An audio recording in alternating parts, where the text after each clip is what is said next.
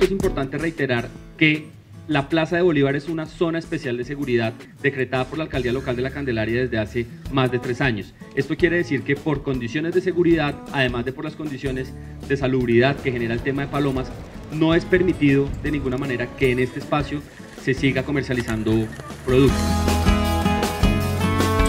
Que la actividad normal de darle maíz a las palomas en la Plaza de Bolívar no corresponde a una actividad de bienestar hacia las palomas, sino de explotación económica eh, con, el, con la sobreoferta alimenticia. Encontramos 14 vendedores en la Plaza de Bolívar, le hemos hecho la propuesta de alternativas de ingreso en diferentes cosas, no solamente a él como cabeza de familia, sino también a su grupo eh, familiar. Les hemos ofrecido empleo, formación para el trabajo, reubicación en los nuevos kioscos. Y que a estar explicándole a los ciudadanos las razones por las cuales deben cuidar, mantener y querer nuestra Plaza de Bolívar.